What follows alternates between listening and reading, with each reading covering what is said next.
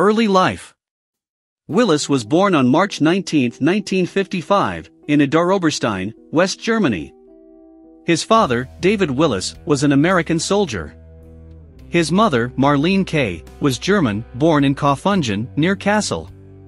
Willis is the oldest of four children, he has a sister, Florence, and a brother, David.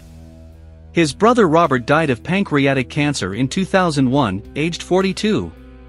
After being discharged from the military in 1957, Willis's father took his family back to Carneys Point, New Jersey. Willis has described himself as having come from a long line of blue-collar people. His mother worked in a bank and his father was a welder, master mechanic, and factory worker. Willis attended Penns Grove High School in his hometown, where he encountered issues with a stutter. He was nicknamed Buck Buck by his schoolmates, Finding it easy to express himself on stage, and losing his stutter in the process, Willis began performing on stage, and his high school activities were marked by such things as the drama club and student council president. After high school, Willis took a job as a security guard at the Salem nuclear power plant and transported work crews at the DuPont Chambers Works factory in Deepwater, New Jersey. After working as a private investigator, a role he would play in the television series Moonlighting as well as in the 1991 film The Last Boy Scout, Willis turned to acting. He enrolled in the drama program at Montclair State University, where he was cast in the class production of Cat on a Hot Tin Roof. Willis left school in his junior year and moved to New York City, where in the early 1980s he supported himself as a bartender at the West 19th Street Art Bar Kamikaze. After multiple auditions, Willis made his theater debut in the off-Broadway production of Heaven and Earth. He gained more experience and exposure in Fool for Love, and in a Levi's commercial. Willis also played a lead role in the off-Broadway production of writer-director Dennis Watlington's Bullpen for four years. Relationships and Children At the premiere for the film Stakeout, Willis met actress Demi Moore. Willis married Moore on November 21, 1987, and had three daughters, Rumor Willis, B., August 16, 1988, Scout LaRue Willis, B., July 20, 1991, and Tallulah Bell Willis, B. February 3, 1994, before the couple divorced on October 18, 2000. The couple gave no public reason for their breakup. Regarding the divorce, Willis stated, I felt I had failed as a father and a husband by not being able to make it work. He credited actor Will Smith for helping him cope with the situation. After their breakup, rumors persisted that the couple planned to remarry, until Demi Moore married Ashton Kutcher. Willis has maintained a close relationship with both Moore and Kutcher, even attending their wedding. Willis was engaged to actress Brooke Burns until they broke up in 2004 after 10 months together. He married model Emma Heming in Turks and Caicos on March 21, 2009, Guests included his three daughters, Demi Moore, and Ashton Kutcher. The ceremony was not legally binding, so the couple wed again in a civil ceremony in Beverly Hills, six days later. The couple has two daughters, Mabel Ray Willis, B., April 1, 2012, 56, and Evelyn Penn Willis, B., May 5, 2014. Career Willis upon receiving an Emmy Award in 1987 for Best Actor in Moonlighting. Willis left New York City and headed to California to audition for several television shows. In 1984, he appeared in an episode of the TV series Miami Vice, titled No Exit. In 1985, he was the guest actor in the first episode of the 1980s revival of The Twilight Zone, Shatterday. He auditioned for the role of David Addison Jr. of the television series Moonlighting, 1985-89, competing against 3,000 other actors for the position. The starring role, opposite Cybill Shepherd, helped to establish him as a comedic actor, with the show lasting five seasons.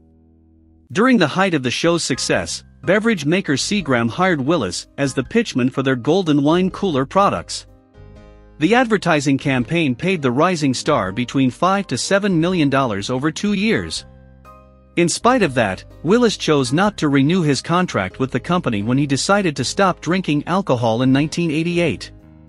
Willis had his first starring role in a feature film in the 1987 Blake Edwards film Blind Date, with Kim Basinger and John Larroquette.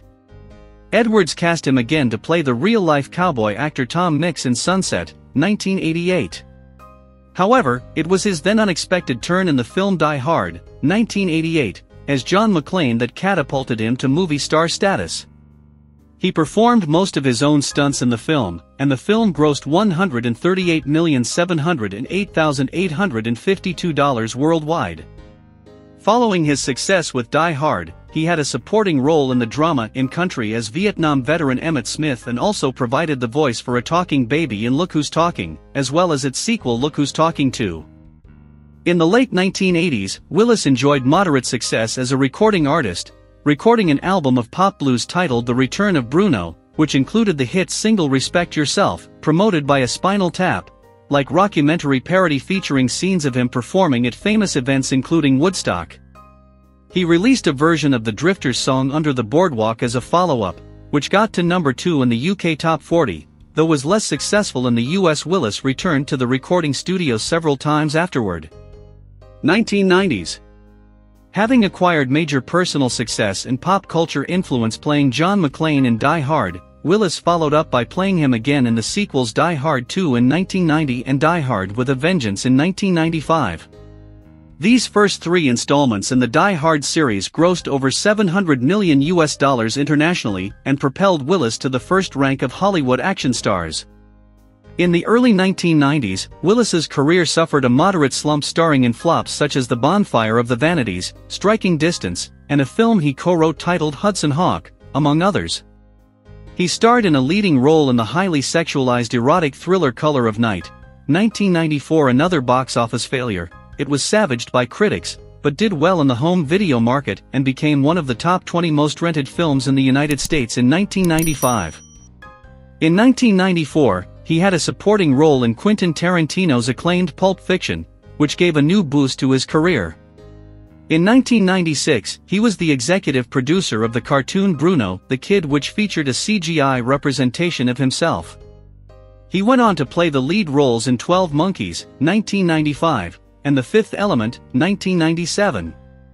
However, by the end of the 1990s, his career had fallen into another slump with critically panned films like The Jackal, Mercury Rising, and Breakfast of Champions, saved only by the success of the Michael Bay-directed Armageddon which was the highest-grossing film of 1998 worldwide.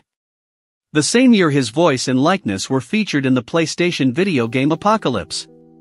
In 1999, Willis then went on to the starring role in M. Night Shyamalan's film, The Sixth Sense. The film was both a commercial and critical success and helped to increase interest in his acting career. 2000s Willis after a ceremony where he was named Hasty Pudding Theatricals Man of the Year in 2002. In 2000, Willis won an Emmy for Outstanding Guest Actor in a Comedy Series for his work on Friends, in which he played the father of Ross Geller's much younger girlfriend.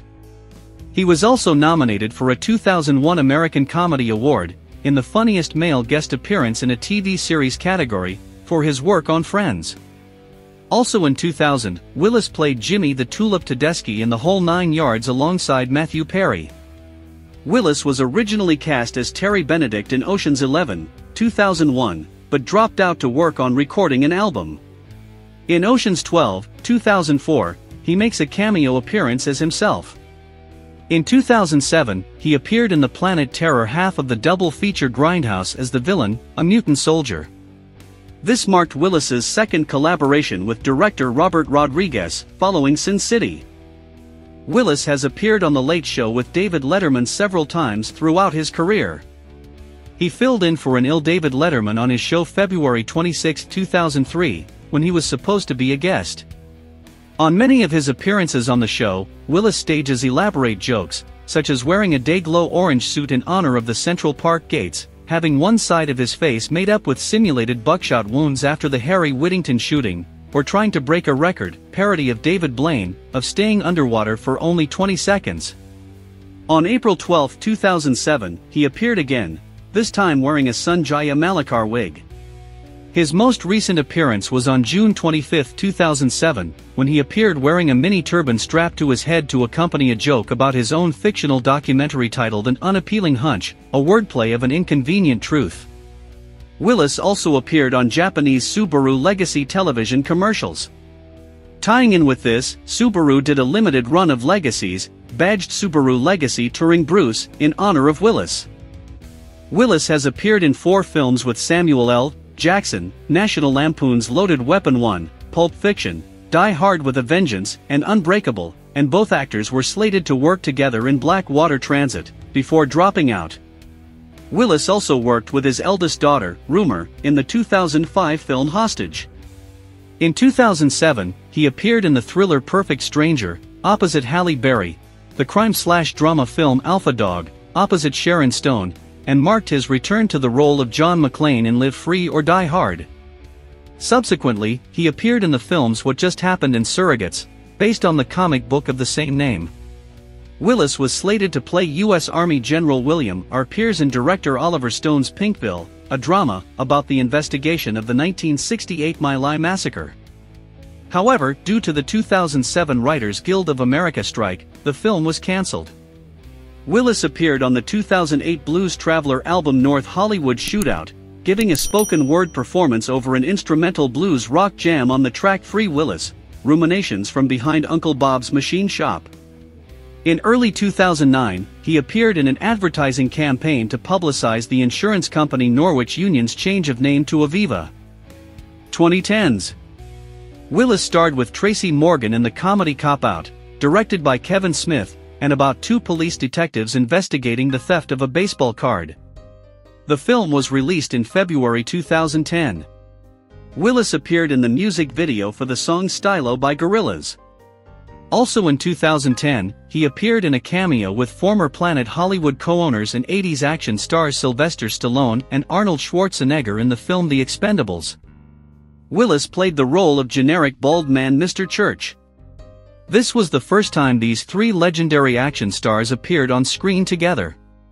Although the scene featuring the three was short, it was one of the most highly anticipated scenes in the film. The trio filmed their scene in an empty church on October 24, 2009. Willis next starred in Red, an adaptation of the comic book miniseries of the same name, in which he portrayed Frank Moses. The film was released on October 15, 2010.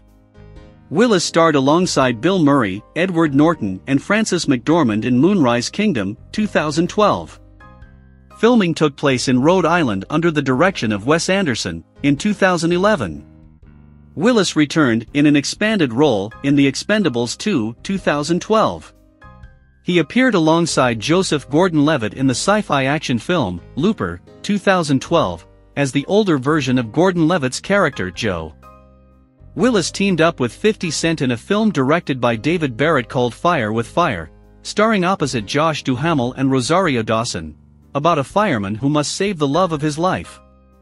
Willis also joined Vince Vaughn and Catherine Zeta-Jones in Lay the Favorite, directed by Stephen Frears, about a Las Vegas cocktail waitress who becomes an elite professional gambler.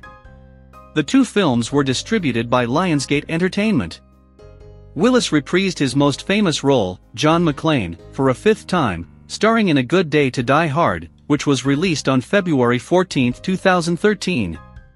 In an interview, Willis said, I have a warm spot in my heart for Die Hard. It's just the sheer novelty of being able to play the same character over 25 years, and still be asked back is fun. It's much more challenging to have to do a film again and try to compete with myself, which is what I do in Die Hard. I try to improve my work every time. The character of Lex Luthor in Injustice, Gods Among Us performed by Mark Rolston was modeled after Willis with the character's signature film called Die Hard. On October 12, 2013, Willis hosted Saturday Night Live with Katy Perry as a musical guest.